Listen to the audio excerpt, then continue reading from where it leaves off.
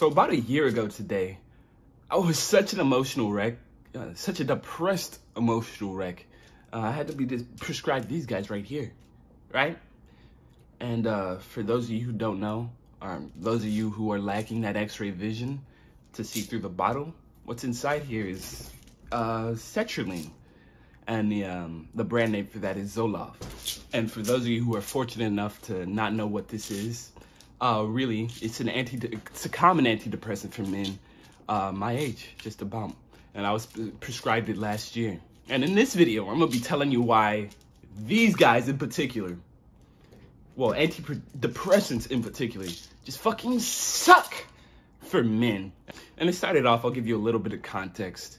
Uh, like I said last year, um, if I didn't have that intervention, I probably would have KMS'd. You know, I gotta, I gotta keep it YouTube friendly. But without getting into too much into that, I could get very depressed. Therefore, that's why I was prescribed those. And um, initially, it helped me with like the anxiety feeling I would get. You know, like uh, it helped lower those invasive thoughts. You know, to go out and go KMS, right? Uh, but after a bit, you know, I, I noticed it stopped working on me, right? That's the first instance of it sucking. And after I was recently prescribed them, you know, uh, they, they tell you not to take any, not to take any drinks with it until you really know how the, how it affects you, how the sertraline affects your body, right? And, you know, I was about on it for like two, three weeks, right? And then later, uh, excuse me, my roommate, he uh, he had his little birthday party back at his his uh, parents' place, right?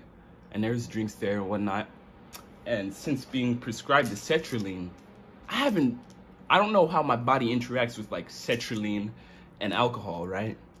So I get to the party, we're chat, we're you know talking it up or whatever, and uh, you know I'm like, all right, I'll, I'll I'll take a few drinks, and then I notice, you know, like based on being off of this, I take like one shot, bro. It feels like I'm fucking four deep, nigga. I'm, I'm about to start dancing off of one shot, right? You know, I, and at the time, I really didn't think much of that because, you know, I'm drunk, having a good time, you know, turning up, bro.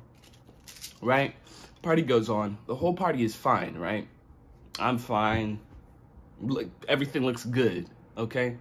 Yeah, everything looks good at the party, for me at least, right? And so I get back in my um roommate's car and we're gonna drive back to you know our dorm because you know this took place last year when I was a freshman in college, right? But uh, we're driving back to the dorm, and then my roommate looks over to me and he's like, "Hayden, you don't look too good, right?" And I look back at him dead in the face. I'm like, Oof. "Sam, I don't feel right," and I threw up all in this man's car, bro. Like, and it wasn't just one heave. I kept going.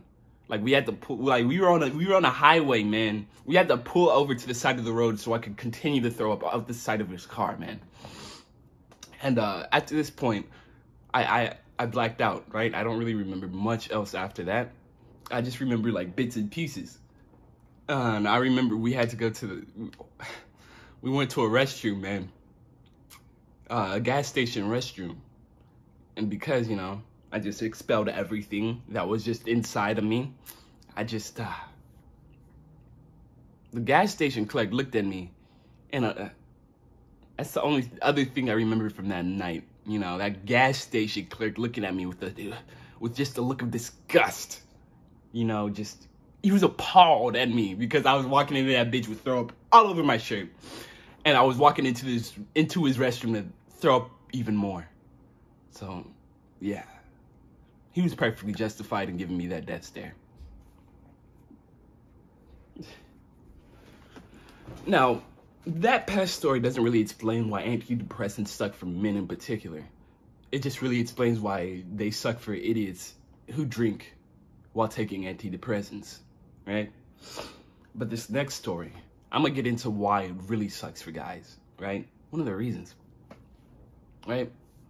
You know, if you're a guy watching this, you know, you like to, you know, especially after puberty, uh, you like to do certain guy things that I, I am being I'm beating around the bush because I really don't know if YouTube's gonna how YouTube's gonna react to this, but uh, yeah, if you're a guy, you know you like to do certain guy things, and that leads to you expelling a certain guy's stuff, right? But on this sexually shit, bro, you can't do that. You cannot do that. Fuck the filter, bro. It takes me three hours to masturbate when I'm on sertraline. What the hell is that? That is not right, bro. And part of the reason it takes three hours is because half the fight is trying to keep my fucking dick up.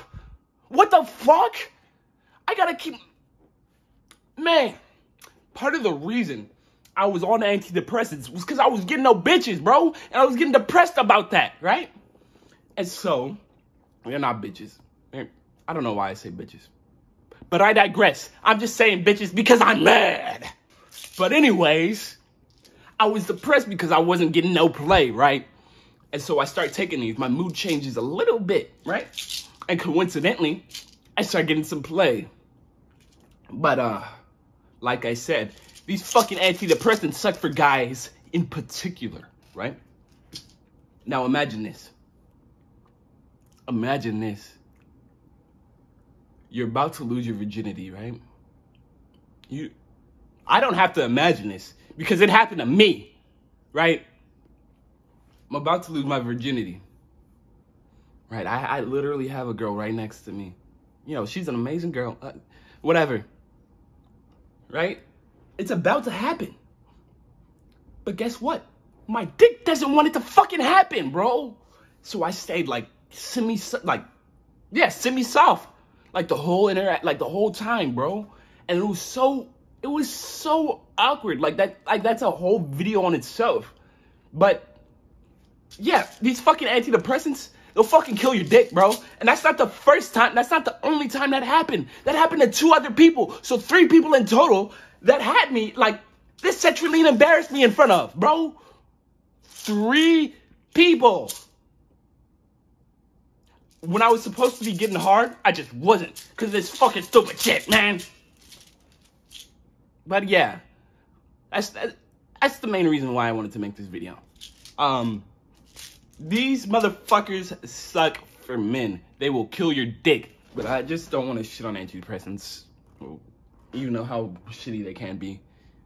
Because, you know, I you know what? Now that I think about it, after, you know, I took these, it only helped me not feel, you know, as depressed for like a month or two. It was, and I think that was just mostly placebo, bro, or something. But the one thing that this does do, uh, when I was taking them, it only really helped me get out of bed it only gave me the energy to get out of bed really. But uh, yeah. Overall, antidepressants suck. Only thing this will do is give you a little bit of energy to get out of bed and get your day done. But other than that, you're do you're risking that at the sacrifice of uh, blood getting to your fucking cock. So up to you if you want to take them or not. If you feel like you need them. I don't even know how this video is gonna be structured, bro. I just turned on the camera and started talking. But um, yeah, I'm gonna end the video right here.